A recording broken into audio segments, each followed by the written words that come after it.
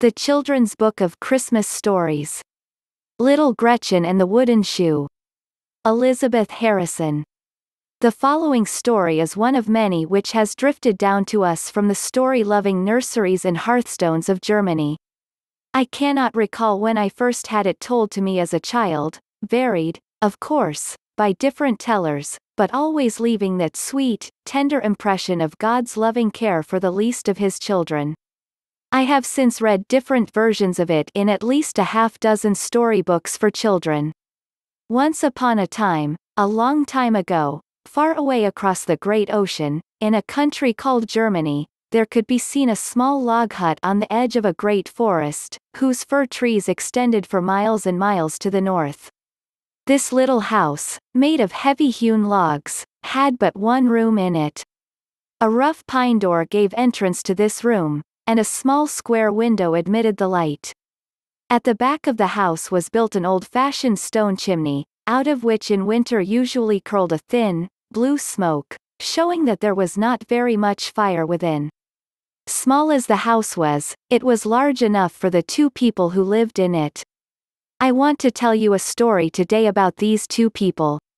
One was an old, gray-haired woman, so old that the little children of the village, nearly half a mile away, often wondered whether she had come into the world with the huge mountains, and the great fir trees, which stood like giants back of her small hut.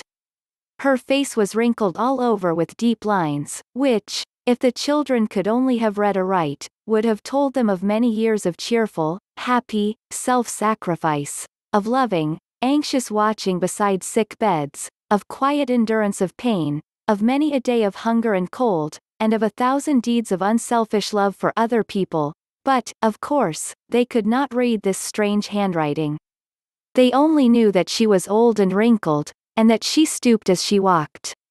None of them seemed to fear her, for her smile was always cheerful, and she had a kindly word for each of them if they chanced to meet her on her way to and from the village.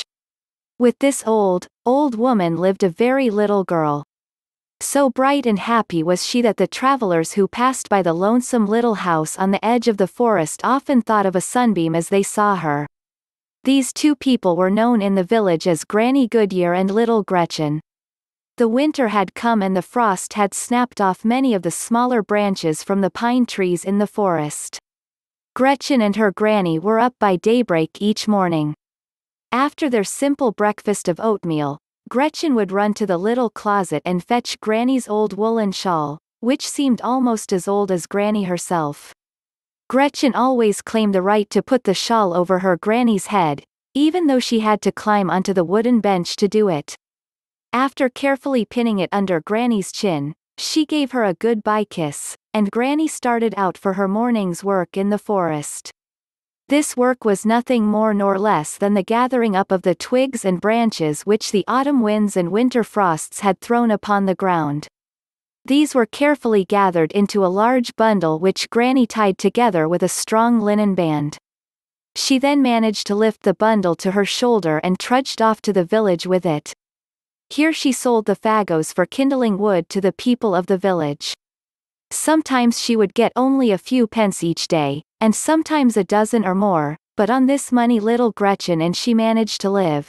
They had their home, and the forest kindly furnished the wood for the fire which kept them warm in cold weather.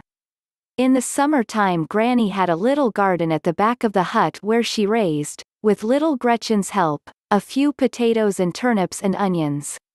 These she carefully stored away for winter use. To this meager supply, the pennies, gained by selling the twigs from the forest, added the oatmeal for Gretchen and a little black coffee for Granny. Meat was a thing they never thought of having. It cost too much money. Still, Granny and Gretchen were very happy, because they loved each other dearly. Sometimes Gretchen would be left alone all day long in the hut, because Granny would have some work to do in the village after selling her bundle of sticks and twigs.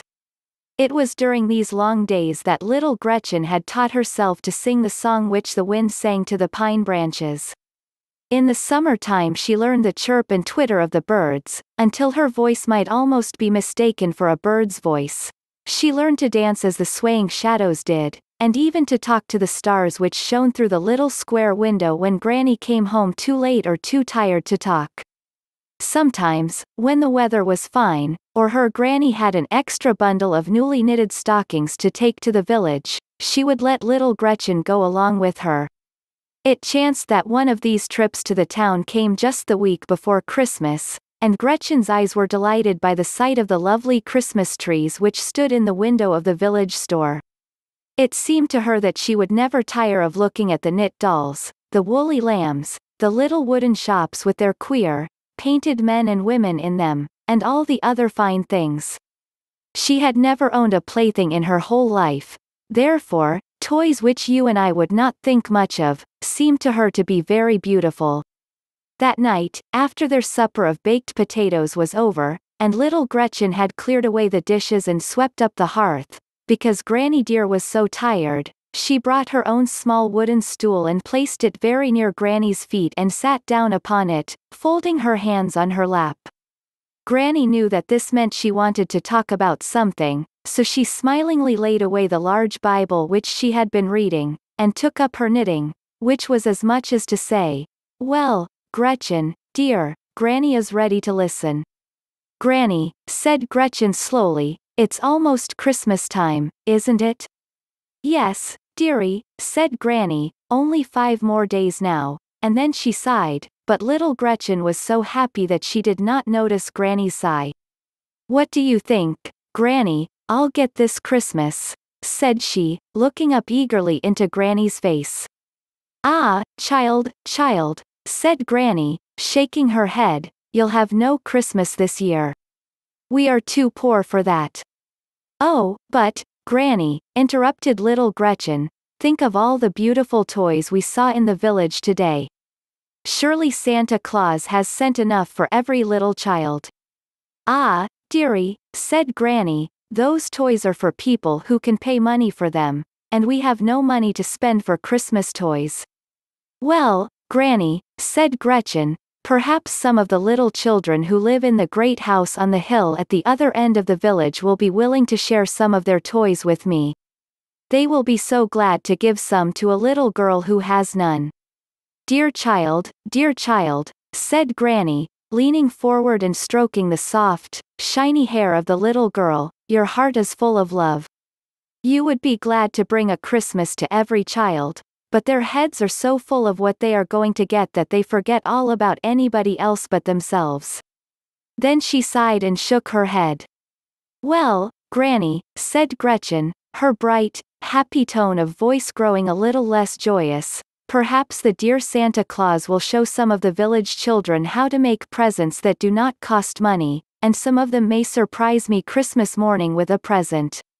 And, Granny, dear, added she, Springing up from her low stool, can't I gather some of the pine branches and take them to the old sick man who lives in the house by the mill, so that he can have the sweet smell of our pine forest in his room all Christmas Day? Yes, dearie, said Granny, you may do what you can to make the Christmas bright and happy, but you must not expect any present yourself. Oh, but, Granny, said little Gretchen, her face brightening, you forget all about the shining Christmas angels, who came down to earth and sang their wonderful song the night the beautiful Christ child was born. They are so loving and good that they will not forget any little child. I shall ask my dear stars tonight to tell them of us. You know, she added, with a look of relief, the stars are so very high that they must know the angels quite well, as they come and go with their messages from the loving God. Granny sighed, as she half whispered, Poor child, poor child. But Gretchen threw her arm around Granny's neck and gave her a hearty kiss, saying as she did so, Oh, Granny, Granny, you don't talk to the stars often enough, else you wouldn't be sad at Christmas time. Then she danced all around the room, whirling her little skirts about her to show Granny how the wind had made the snow dance that day. She looked so droll and funny that Granny forgot her cares and worries and laughed with little Gretchen over her new snow dance. The days passed on, and the morning before Christmas Eve came. Gretchen having tidied up the little room for Granny had taught her to be a careful little housewife was off to the forest, singing a bird-like song, almost as happy and free as the birds themselves. She was very busy that day, preparing a surprise for Granny. First, however, she gathered the most beautiful of the fir branches within her reach to take the next morning to the old sick man who lived by the mill. The day was all too short for the happy little girl. When Granny came trudging wearily home that night, she found the frame of the doorway covered with green pine branches. It's to welcome you, Granny. It's to welcome you, cried Gretchen. Our old dear home wanted to give you a Christmas welcome. Don't you see, the branches of evergreen make it look as if it were smiling all over, and it is trying to say, a happy Christmas to you, Granny. Granny laughed and kissed the little girl, as they opened the door and went in together. Here was a new surprise for Granny. The four posts of the wooden bed, which stood in one corner of the room, had been trimmed by the busy little fingers, with smaller and more flexible branches of the pine trees. A small bouquet of red mountain ash berries stood at each side of the fireplace, and these, together with the trimmed posts of the bed, gave the plain old room quite a festival look. Gretchen laughed and clapped her hands and danced about until the house seemed full of music to poor, tired Granny, whose heart had been sad as she turned toward their home that night, thinking of the disappointment which must come to loving little Gretchen the next morning. After supper was over little Gretchen drew her stool up to Granny's side, and laying her soft, little hands on Granny's knee, asked to be told once again the story of the coming of the Christ child, how the night that he was born the beautiful angels had sung their wonderful song, and how the whole sky had become bright with a strange and glorious light, never seen by the people of earth before. Gretchen had heard the story many, many times before, but she never grew tired of it, and now that Christmas Eve had come again, the happy little child wanted to hear it once more. When Granny had finished telling it the two sat quiet and silent for a little while thinking it over, then Granny rose and said that it was time for them to go to bed. She slowly took off her heavy wooden shoes, such as are worn in that country, and placed them beside the hearth. Gretchen looked thoughtfully at them for a minute or two, and then she said, Granny, don't you think that somebody in all this wide world will think of us tonight? Nay, Gretchen, said Granny, I don't think anyone will. Well, then, Granny, said Gretchen, the Christmas angels will, I know, so I am going to take one of your wooden shoes, and put it on the windowsill outside, so that they may see it as they pass by. I am sure the stars will tell the Christmas angels where the shoe is. Ah, you foolish, foolish child, said Granny, you are only getting ready for a disappointment tomorrow morning there will be nothing whatever in the shoe. I can tell you that now. But little Gretchen would not listen. She only shook her head and cried out, Ah, Granny, you don't talk enough to the stars. With this she seized the shoe, and, opening the door, hurried out to place it on the windowsill. It was very dark without, and something soft and cold seemed to gently kiss her hair and face. Gretchen knew by this that it was snowing, and she looked up to the sky, anxious to see if the stars were in sight, but a strong wind was tumbling the dark, heavy snow clouds about and had shut away all else. Never mind, said Gretchen softly to herself, the stars are up there, even if I can't see them, and the Christmas angels do not mind snowstorms. Just then a rough wind went sweeping by the little girl, whispering something to her which she could not understand, and then it made a sudden rush up to the snow clouds and parted them, so that the deep, mysterious sky appeared beyond, and shining down out of the midst of it was Gretchen's favorite star. Ah, little star, little star, said the child, laughing aloud, I knew you were there, though I couldn't see you. Will you whisper to the Christmas angels as they come by that little Gretchen wants so very much to have a Christmas gift tomorrow morning, if they have one to spare, and that she has put one of Granny's shoes upon the windowsill ready for it? A moment more and the little girl, standing on tiptoe, had reached the windowsill and placed the shoe upon it, and was back again in the house beside Granny and the warm fire. The two went quietly to bed, and that night as little Gretchen knelt to pray to the Heavenly Father, she thanked him for having sent the Christ child into the world to teach all mankind how to be loving and unselfish, and in a few moments she was quietly sleeping, dreaming of the Christmas angels. The next morning, very early, even before the sun was up, little Gretchen was awakened by the sound of sweet music coming from the village. She listened for a moment and then she knew that the choir boys were singing the Christmas carols in the open air of the village street. She sprang up out of bed and began to dress herself as quickly as possible, singing as she dressed. While Granny was slowly putting on her clothes, little Gretchen, having finished dressing herself, unfastened the door and hurried out to see what the Christmas angels had left in the old wooden shoe. The white snow covered everything trees, stumps, roads, and pastures until the whole world looked like fairyland. Gretchen climbed up on a large stone which was beneath the window and carefully lifted down the wooden shoe. The snow tumbled off of it in a shower over the little girl's hands, but she did not heed that. She ran hurriedly back into the house, putting her hand into the toe of the shoe as she ran. Oh, Granny!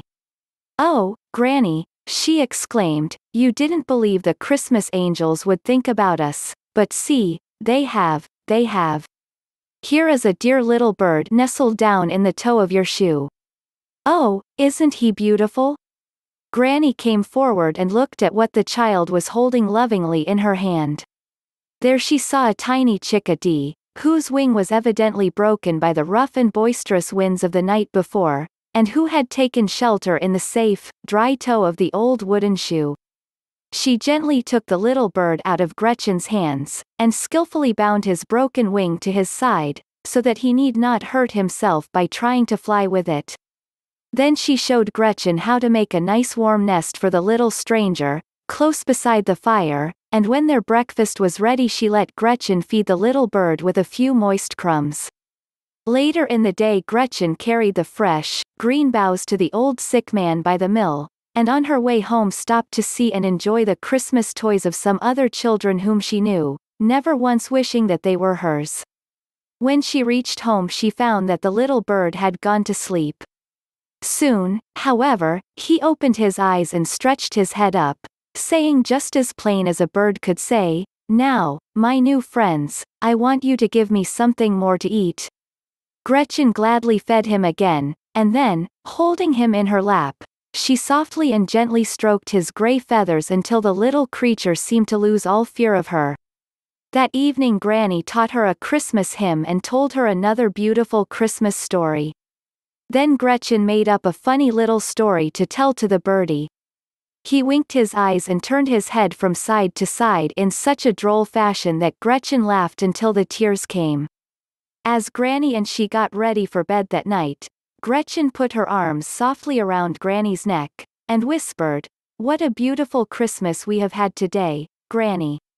Is there anything in the world more lovely than Christmas? Nay, child, nay, said Granny, not to such loving hearts as yours.